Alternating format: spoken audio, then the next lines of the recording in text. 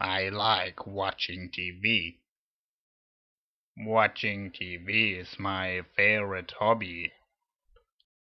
I like TV series and TV shows, and I uh, like also movies. Movies on the TV and on the small screen.